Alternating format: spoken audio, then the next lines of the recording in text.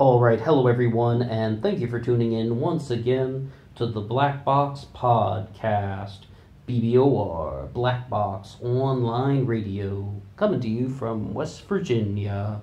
Today we're going back to 1993 when we saw a halt to a particular crime spree in the state of New York. Someone calling himself the Zodiac Killer. And no, of course, it wasn't the same Zodiac from 1968 69 in the San Francisco Bay Area, but this person was indeed a true copycat. His real name was Heriberto Seda, and he often, though, went by Eddie, so we'll just refer to him by that as Eddie Seda. Now, these were some murders that happened from 1990 to 1993, but he was completely apprehended in 1996. So that's something just to note. The thing that I would say about this is that um, this is a case where we have a definitive example of a copycat. But what I kind of hypothesized in the past was with the Zodiac killer case from the 1960s, is that the Zodiac studied the Texarkana Moonlight Murders from 1946, and of course dealing with the Texarkana, Texas, Arkansas border, that that area. It is my personal suspicion, and I don't have anything to confirm that other than my own suspicion, that the Zodiac was either very involved with that case, you know, as, a, as someone who's just reading up on it and thought, hmm, how can I do better than this guy? How can I become a more elaborate serial killer? Or either that, or they have the exact same psychology, or there's a, some sort of psychological trait going on, and that's just leading people to do this type of behavior. It's either one of those two things, and I don't think it's anything in between. And the reason I bring that up is because with the case of Eddie Seda, this is a genuine copycat. I think that these things happen much more frequently than we actually learn about. It's just that they aren't necessarily reported in the same way. One differentiation, though, with um, the kind of theory that I laid out and the actuality of Eddie Seda being the New York Zodiac, is that he took on the Zodiac killer's name. He said he was the Zodiac, and um, I even saw some news clippings from the early 90s that, of course, have been put on the internet, and they were actually kind of hypothesizing and just um, putting out the idea that was this really the same Zodiac killer from the 1960s? Did the Zodiac move from California to New York? Was that what happened?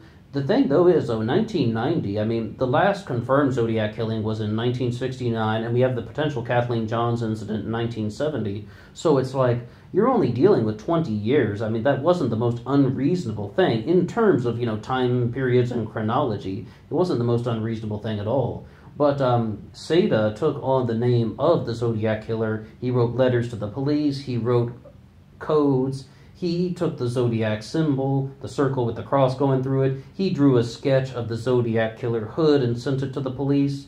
The code that he used is actually something that was composed of Native American totemography slash World War II code metrics. It's like, I mean, there's a lot of thought that went into that. I mean, just the thought in terms of research and learning about this stuff. And I would I would say that um, Eddie Seda, uh, the the age just escaped me. I want to say that he was 20 years old. No, sorry, he was 22 at the time of the first killing. I mean, so he's in his early 20s. Let's just say that he's in his early 20s at the time of the first murder. So definitely reading up on a lot of this stuff because he was someone who felt rejected from society. How many times have I said that on this channel when we're talking about these murder cases? Rejected from society. It's almost like we're just going to have to start doing tally marks and stuff. Just start keeping count. We say this very frequently. But yeah, he felt rejected from society, unemployed, didn't have a girlfriend. So he would start learning about astrology, astronomy, and as we mentioned, World War II cryptography. He would start learning about this stuff and he developed a fascination with it. And why I brought it to do that little bit of an intro about trying to do better than the previous killer, that's exactly what he wanted to do with the Zodiac case. He wanted to commit 12 murders one for each zodiac sign. And the thing is, though, he um perhaps he started targeting his victims almost at random. That's a big theory that they have because they don't see any connection at all between Eddie Seda and the victims that he murdered. And they actually believe that maybe he just got lucky murdering people with different star signs. Like he would check their wallet, and um, after he had committed the murder, it's like, oh, okay, I got Taurus, check that mark. But um, in reality, I don't necessarily know if I would believe that in pure terms of feasibility. It would make much more sense, like, say, for example, if you would walk past the person earlier on and, Hey, how's it going? Yeah, what's your name? Oh, yeah, yeah. Okay, yeah, my birthday is such and such. When's your birthday? Because one of the guys that was even murdered was a homeless person. And once again, Eddie Seda had no connection to him. And after the murder, Eddie Seda shot him with a zip gun. He placed a note in the sock of the homeless man saying that he was this was a killing done by the Zodiac killer. But it's like how easy would it have been to have approached the homeless man in the park or on a bench somewhere and just strike up a little conversation, get the guy's birthday? It's easy to get people's birthdays with a small amount of conversation, is all I'm saying. I don't necessarily know if I buy that he just got lucky murdering people with um, different zodiac signs. But um, the thing is, though, he actually only committed three successful murders. Some of the early victims that he attempted to murder survived, but they put out kind of misleading information to the press and the police put that stuff out there just to put the killer in a, a, false sense of ease. This is very normal with police departments. They put these things out there to be intentionally misleading so the perpetrator isn't um, aware of what the police are doing. Uh, the DC sniper case is a very good example of that, where the media was putting out misleading information. Now, I'm over on a website called Gore Babies. It's a page, actually. Someone's post here on Eddie Seda and the Zodiac Killer. And the thing is with this one, what they're sort of saying, I really liked what they said on Gore Babies because it's like they're talking about how Eddie Seda was copying the Zodiac, but he wasn't as skilled as the Zodiac Killer from California.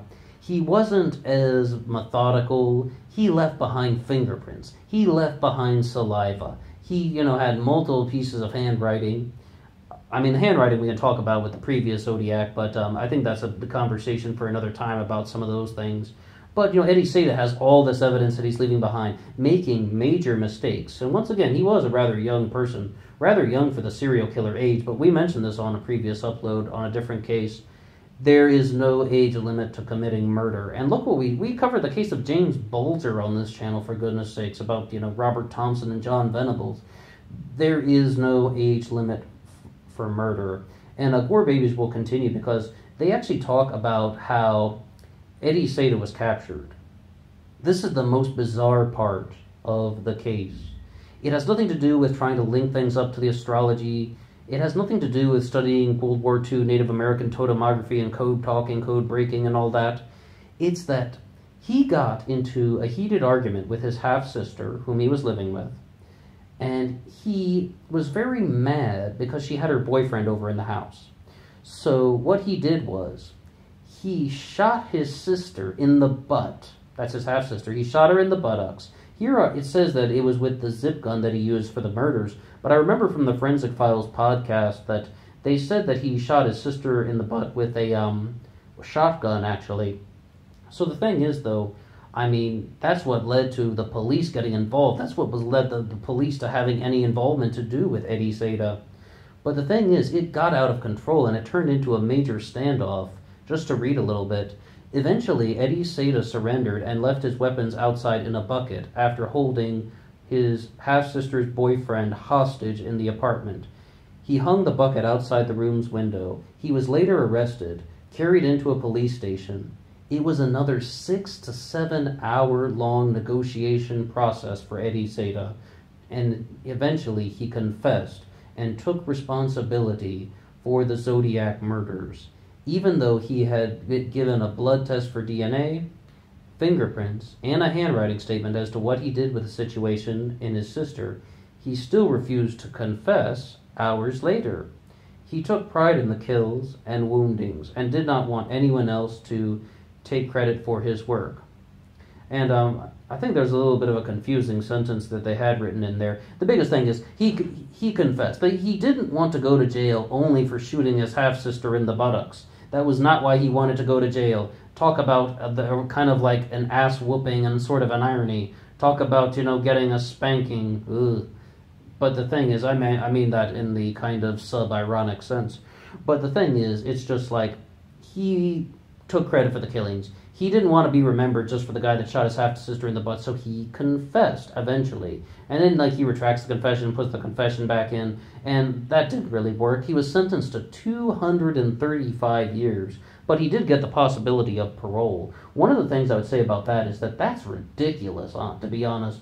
if this guy was murdering multiple people, had a plan to murder 12 people, just to kind of do this as some sort of game, just so he could kind of outwit the California Zodiac and be like, I'm more of an elaborate killer, he shouldn't have been ever had the chance for parole, even if he's denied. I mean, absolutely not. I think that that's a very, very ridiculous thing that they would have done. But the overall message that we would have with this type of upload is that Eddie Seda is someone who is not an isolated incident. Copycats do take place, and people do learn from these other serial killers. They go through the serial killer literature and they try to expand upon the work of previous serial killers. And that's bad, though. And, like, I mean, once again, the reason that kind of drove Eddie Seda to it rejection from society, not having a love life, feeling like a degenerate, being unemployed I mean, he's sort of an outcast, and then people who have this type of outcast kind of lifestyle can very frequently turn to violence. Not always, though, but uh, from time to time we do encounter this. One of the things, though, about the planning that uh, involved with this, Eddie Seda was one person, and he was caught. Left behind the DNA, the fingerprints, all that stuff, he was caught. With the Zodiac killer from California in the 60s, what I might do for the next Zodiac upload is say that talk about the group murder theory a little bit more. And um, this wasn't my original statement. Someone left a comment on a previous upload. If I can go back and find that one, I'll give the person credit. But it's like they said it's almost as if a group of guys made a pact in California that each person's going to commit one murder, and the, the Zodiac killer is actually a group of people. Now, the reason why they would say that is different methods used in that. Like, and you see this with Eddie Seda. Every time he committed a murder, what did we say? Zip guns, homemade zip guns. But with the Zodiac Killer in California, different weapons, different methods, different locations, different areas. I mean, a lot of people are pushing the body of water theory, that all the murders were committed near bodies of water. What do you say about Paul Stine and what do you say about the possibility of Kathleen Johns?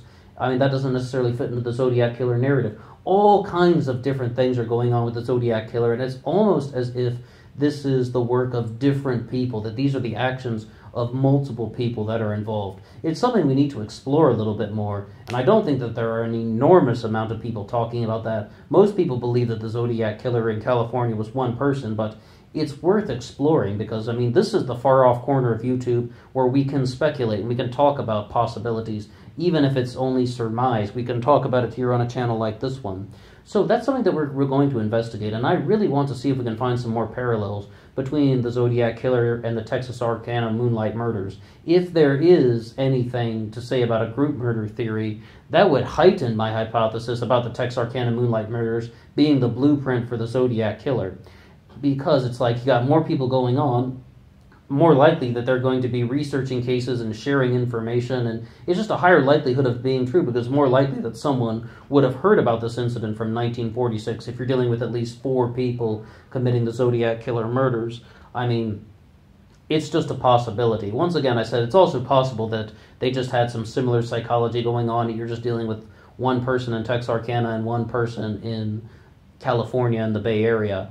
It's possible as well. But what do you think about copycat serial killers? What do you think about anything that we mentioned about Eddie Seda from New York in the early 90s? And what do you think about the Zodiac Killer? Any comments at all are welcome. I would love to hear from you. And until next time.